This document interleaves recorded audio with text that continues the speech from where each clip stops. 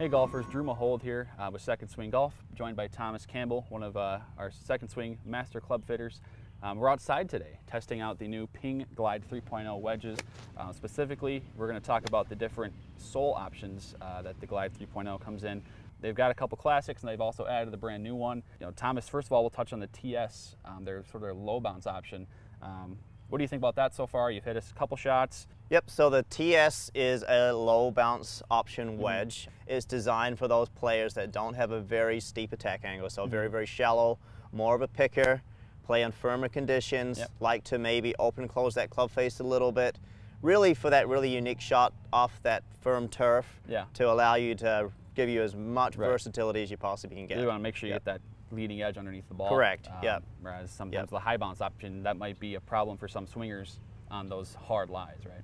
Correct. Yep. So essentially, not much bounce on it allows you to be able to work the ball, but it's not going to be as forgiving, essentially. And then moving towards the standard sole SS grind, um, what type of shots, what type of advantages are players using that wedge going to see? Yeah, so the standard sole option is probably the most versatile option of all the wedges. Yeah. Essentially, yeah, you'll be able to hit both shots, you'll be able to hit.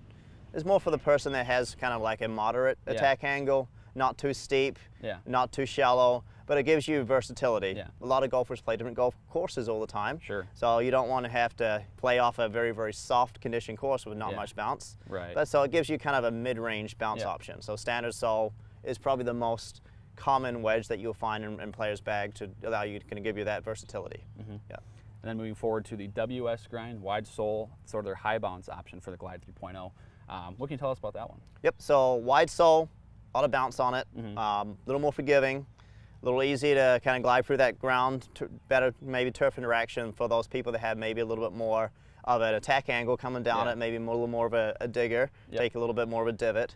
Um, but forgiving, um, we were hitting shots around the green just out of that thick rough, and yeah. we noticed how that oh, it yeah. kind of bounced straight through that through that through that grass really really easily, mm -hmm. and we were dropping it in some pretty nasty lies. Yeah. Oh yeah. So Wide sole, you know, maybe designed for a player that has a little bit more of a steeper attack angle, but mm -hmm. I wouldn't shy away from it. It definitely gives you more forgiveness. Yeah. yeah. I mean, especially in those, like you were saying, those lies we kind of dropped those, those the golf balls in for those shots were pretty nasty.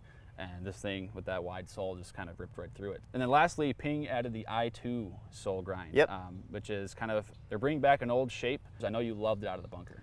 I do. I play a wedge very similar to this that has that uh, high toe look on mm -hmm. it. Mm-hmm. Um, I love playing out of the sand. It is like cheating out of sand. It's, it's so easy. Um, one thing I did notice with this with this wedge, it's maybe not as large as some of the other maybe competitors with, yeah. with, with, the size of the club head, but it's very easy on the eye. So yeah. a lot of people don't like to have that big, big, bulky wedge in, in their hand. Um, so it's it's pretty clean looking. Obviously, it's got that nice big high toe yeah. on there. Um, the other interesting thing is you'll notice this bottom, the bottom groove. Yeah. So it's kind of, it's down there. It's, it's, it's kind of positioned yeah. way, way down there for someone that may hit that thin shot to catch that extra groove and yeah. just give a little bit more forgiveness yeah, and versatility. Sure.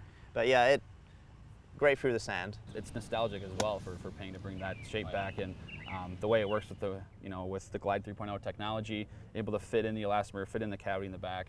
Um, it, clearly it performs well and, and the shape, you know, it might be a, an issue for some to kind of get over the shape.